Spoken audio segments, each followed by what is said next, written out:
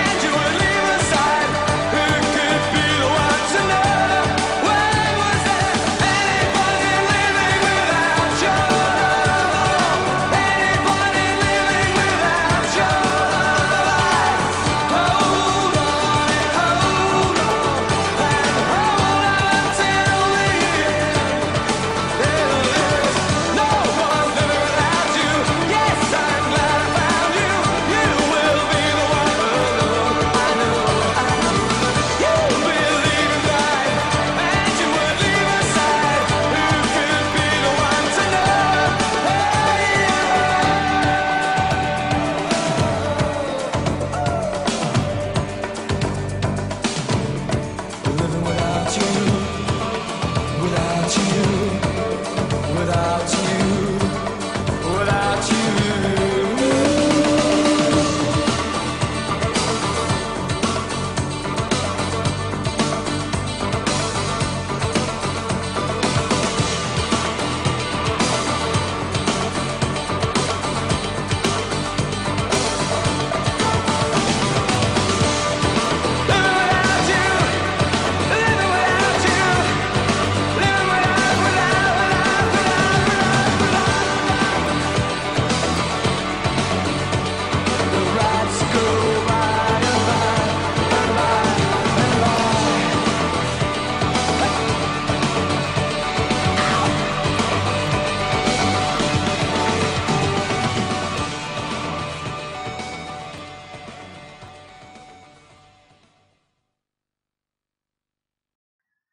Mark Shaw from Then Jerico on Hayley Palmer's Memory Lane, and this is our single Sugar Box from the second album, The Big Area.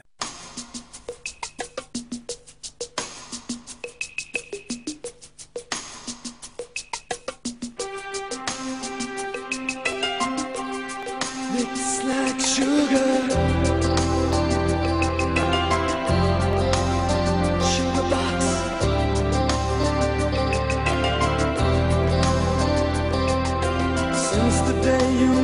into my dream, I have felt an older side reveal.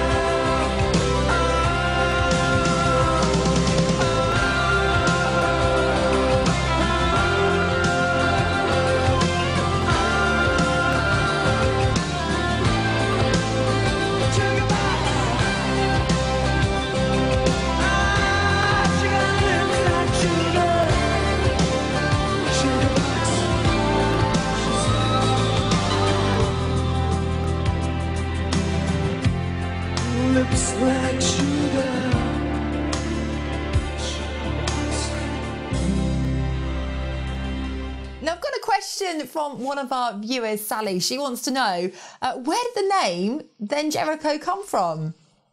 Uh, it came from the Bible. Um, it came. I was living in a squat at the time, and um, I had cut two books. Uh, one of which was a uh, rather sexual in nature, and the other one was um, was the Bible. And I never really read the Bible properly, and um, half of it was missing. But I just had enough to read up to the story of Jericho and how the walls were brought down by uh, the Joshua and the Israelites surrounding the river, uh, crossing the River Jordan, surrounding the walled city of Jericho for seven days and uh, basically walking around the, the outside of the walls, blowing ram's horns and carrying the Ark of the Covenant. And the walls supposedly then, then collapsed. Um, and I love the idea of uh, what at the time I thought was a non-violent violent revolution. I love the idea that, music could could change the world. Yeah. And of course, they blew trumpets and ram's horns, which is what they would have been in those days, which is what they used as trumpets. Um, and I love the idea of, of, of actually, which is where I think the, the term horn section comes from. I think um, I love the idea that they actually used trumpets and sound. They created subsonics. Subsonics are very, very low notes, and um, it makes things crumble. It makes the earth move. But I just love the idea that music could change the world and that the idea of uh, people together en masse being able to create Yeah. enough force that they could bring down the physical walls. So it was kind of a metaphorical thing for me, really. or an Oh, allegorical I thing, like one of those things. Yeah, it really does work, the name, doesn't it? I would And I- never think of it, but it just, you know, we like it. And I used then because there was so many bands called The. Yeah. Um, and I liked then because I thought well, everyone said, you know, you can't change the world, but then Jericho. And there was a band from Liverpool Ah. called uh, It's Immaterial, and I loved the name It's Immaterial. So I took the idea of using a, um, taking the word they the, and adding N on the front, just to so a, a slightly different context to, to the name, you know. Yeah, I like Different it. pretext. Well, we're going to play out the next track, The Happening, uh, another great track on the show, isn't it? Thank you. We recorded this specifically for Help Musicians UK. Right. We did this um, as a um, we did this as a, as a specific uh, fundraiser for Help Musicians UK, which was a charity started years ago by Vaughan Williams and Elgar, British composers, to try and help struggling musicians. And there's a lot of people out there struggling now, so we thought well, we'd do this together. Myself and D-Rail, our guitarist, we recorded it in his studio, and we did a little lockdown video to go with it. So it's uh, it's um, our latest offering. Ooh, Jericho well, let's check out the video to this, and uh, we look forward to seeing you on the other side.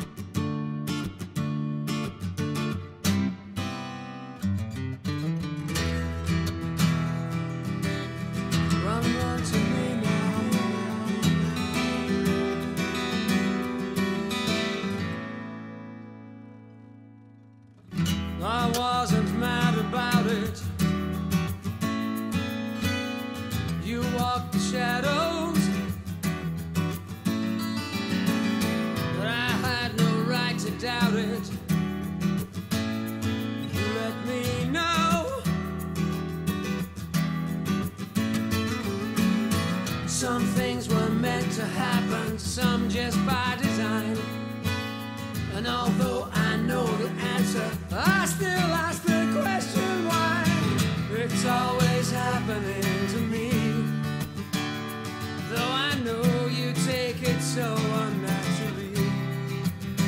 Take your time and you'll see the way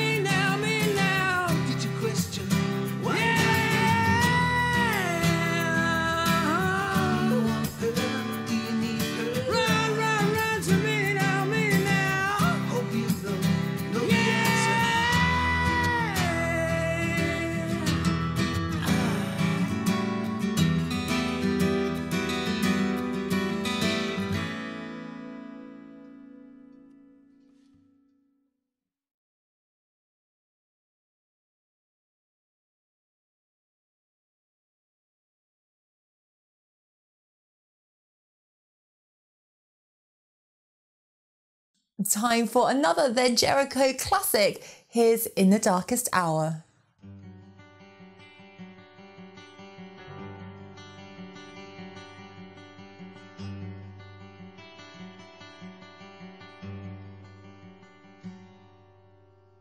So lonely on your own, so hard to be alone.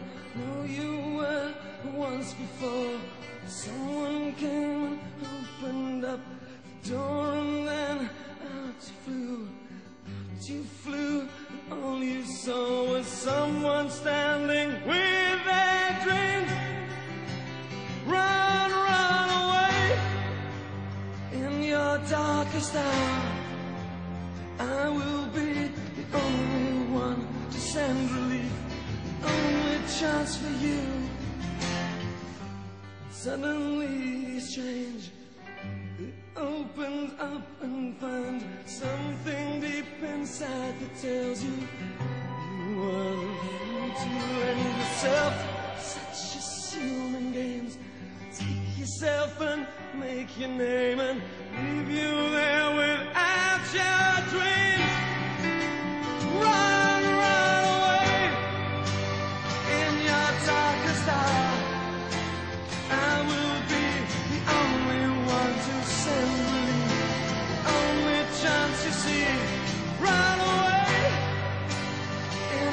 Darkest.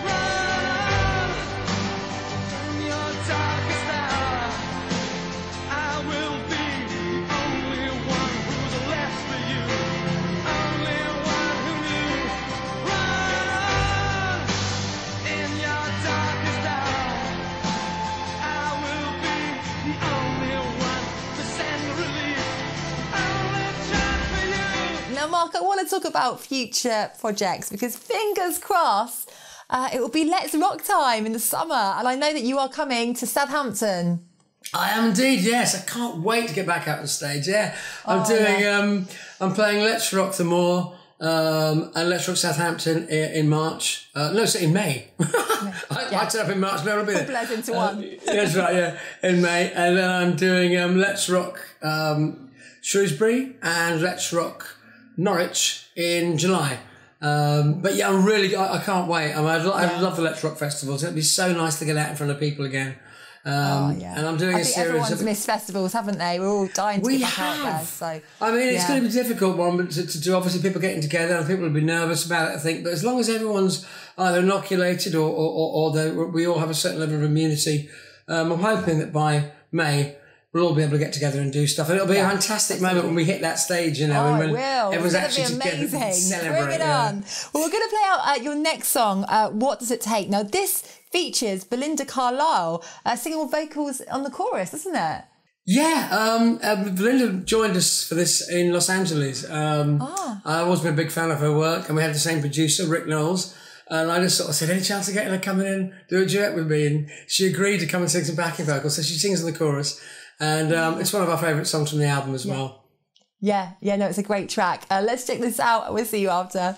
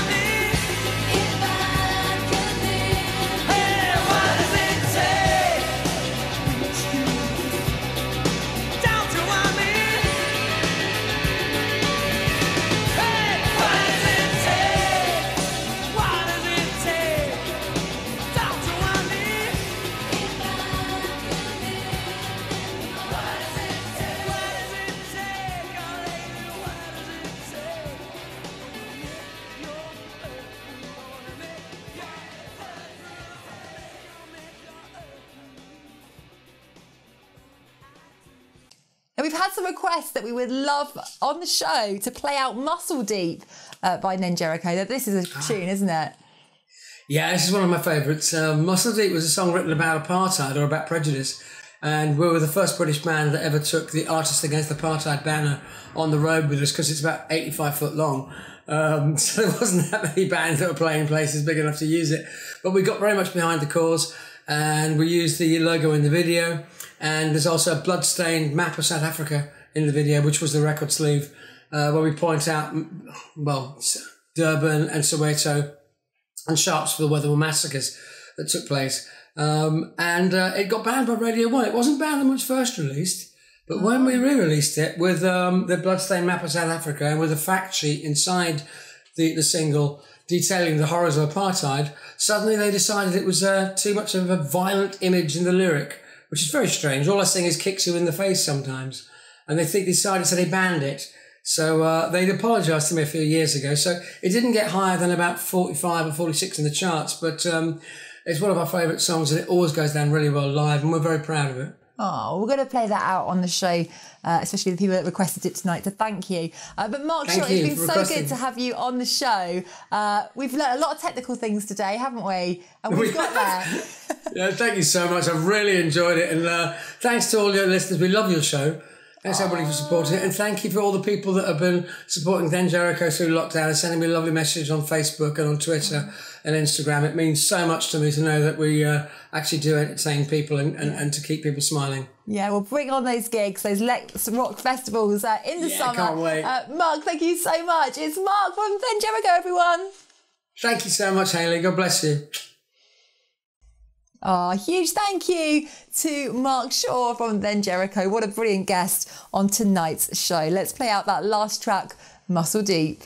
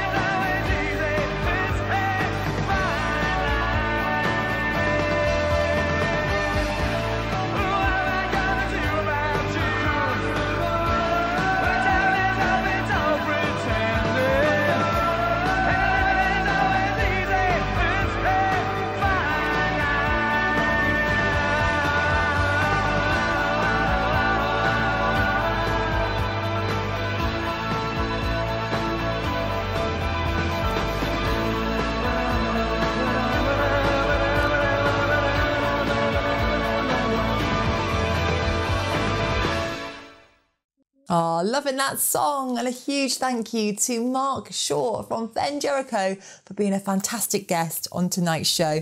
And to you at home for supporting the show every single week. It really is very much appreciated. Thank you. Now remember, you can get in contact. Details are on the screen below. I love hearing from you. I'm Hayley Palmer. Stay safe, and I will see you same time, same place next week.